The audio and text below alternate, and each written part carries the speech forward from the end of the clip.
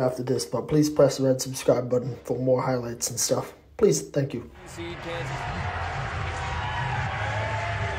With the 72nd pick in the 2022 NFL Draft, the Seattle Seahawks select Abraham Lucas, tackle, Washington State.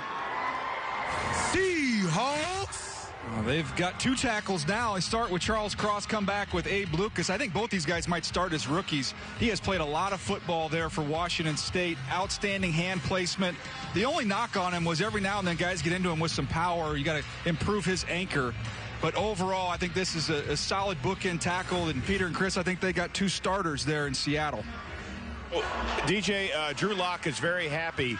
He feels well protected, and he has some job security, at least at this point. What is going on, Peter Schrager, with the quarterback situation? Well, they're beginning to fall, and now we're all the way into the third round. I'll say this.